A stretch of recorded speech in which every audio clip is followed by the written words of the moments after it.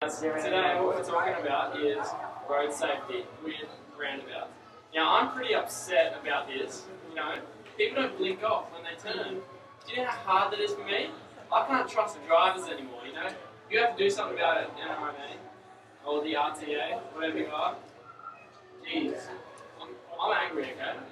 Now, I want some damn good drivers driving on my road. Otherwise, I don't want to crash. Because I only have third parties. You know what going to do to me? I don't get any insurance, okay? Me, not insurance. I need my car, okay? Chicks dig it.